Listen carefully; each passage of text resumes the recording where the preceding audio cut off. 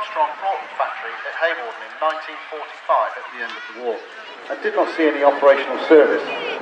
The aircraft joined the BBMF in 1973, making this her 50th year with us. PA474 was officially adopted by the City of Lincoln in 19...